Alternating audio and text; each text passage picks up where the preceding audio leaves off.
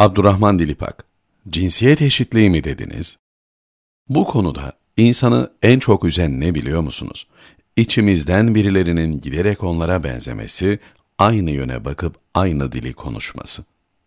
Cinsiyet eşitliğiymiş, kadına şiddetmiş, o konular mazide kaldı. Cinsiyetsiz toplumu konuşuyoruz artık.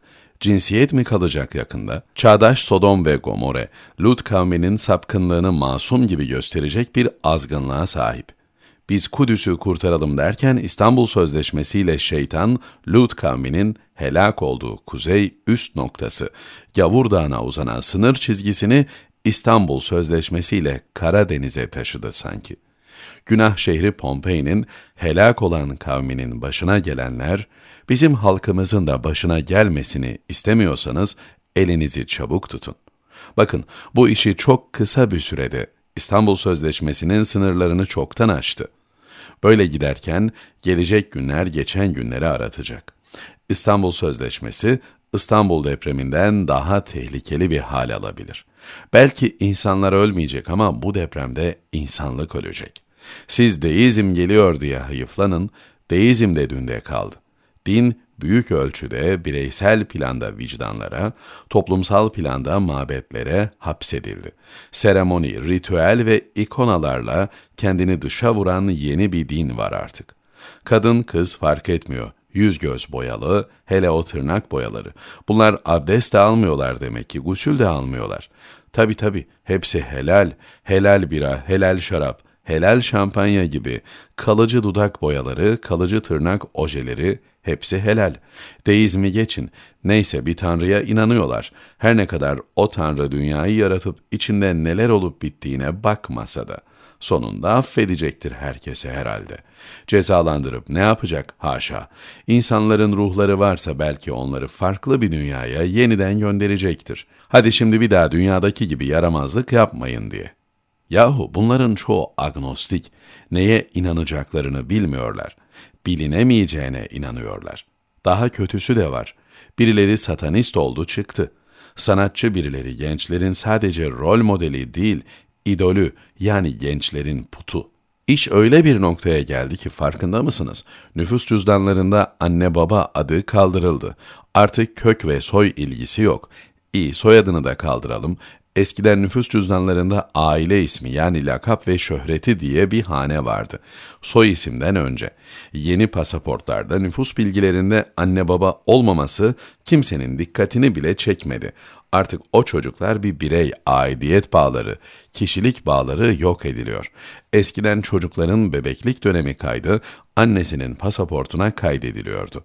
Geçen gün hanımım, kızım ve gelinim Sıla-i Rahim için yurt dışına gidecekti. Yeni pasaportta anne baba adı yok ya, torunum annesiyle nasıl gidecek? Bu çocuğun annesi olduğunu ispat için nüfus idaresinden üç dilde bir belge aldı. Ama yine sorun çıktı. Bu belgede anne kızlık soyadı yazılmış, şimdi vukuatlı nüfus sureti alıp tercüme ettirip tasdik ettirecekler. Evlilik cüzdanı sureti de isterler belki. Ne günlere kaldık. Yeni nüfus cüzdanlarında cinsiyeti belirten sadece bir harf var. Yeni nüfus cüzdanlarında renk farklılığı da yok. Onu da kaldırmak gerekecek bu gidişle. Kadın erkek oluyor, erkek kadın ya da bir cinsiyet tercihinde bulunmayabiliyor. Eskiden din ve mezhep de vardı.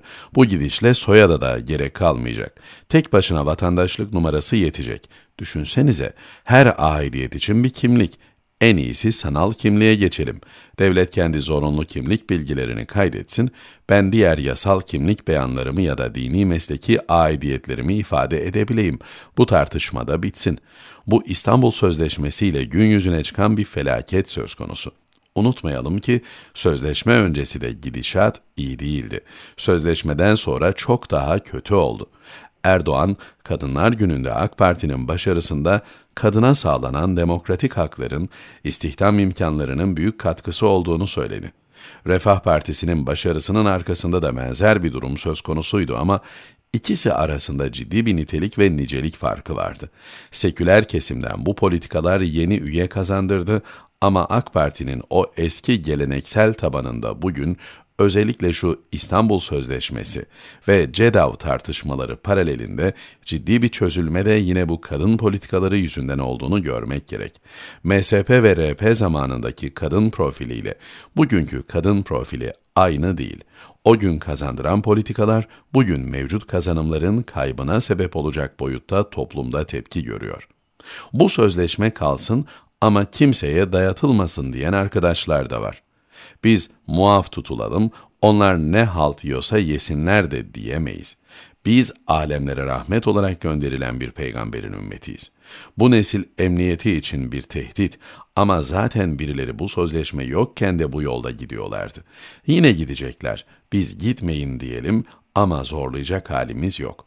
Devlet bu konularda eğitici, zorlayıcı bir rol üstlenmesin.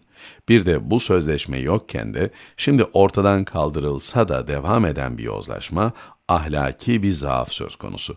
Bununla nasıl baş edeceğiz? Her şeyi sadece İstanbul Sözleşmesi ve CEDAW'la açıklayamayız. Kaldı ki şeytan bu arada boş durmayacak. Yeni tuzaklar kazacak önümüze.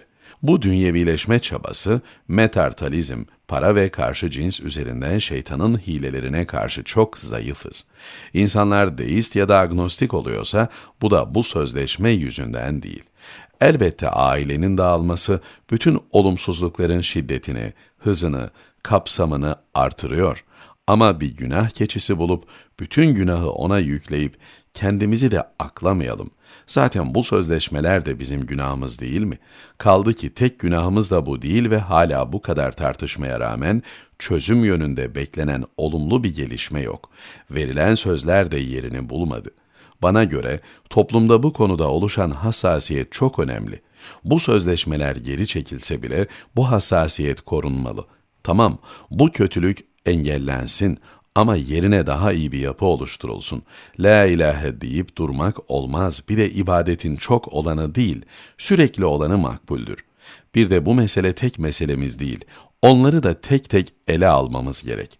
İstanbul Sözleşmesi yokken de durumun iyi olmadığını biliyoruz. Bu sözleşme geldi, gelen gideni arattı. Kaş yapayım derken göz çıkardı ve bu arada toplumun uyanışına sebep oldu.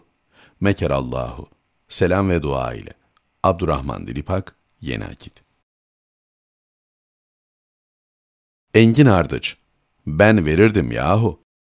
Anayasa Mahkemesi üç parti için suç duyurusunda bulunmuş. Gezi Partisi, ya hani Gezi'den parti çıkmazdı, Birleşik Devrim Partisi, böyle de bir parti varmış ve de Sıkı Durun Doğru Yol Partisi. Bunların mali denetimlerinde uygunsuzluk bulunmuş. İlk ikisi gelir gider belgelerini ve defter kayıtlarını bir türlü AYM'ye göndermiyorlar. Belki de böyle bir yükümlülükleri olduğunu bilmiyorlar. Hani Emine Ülker Tarhan'ın parti kurmak para işiymiş, bilmiyordum demesi gibi. Acaba nasıl olsa devrim yapacağız, devrimden sonra kimse hesabını soramaz diye mi düşünüyorlar? Asıl içler acısı Doğru Yol Partisi. DYP'nin 1233 lira 23 kuruş geliri ve de 6150 lira gideri kanuna uygun değilmiş. Böylece uygunsuzluk toplamı olan 7383 lira 23 kuruş karşılığı parti malı hazineye gelir kaydedilecekmiş.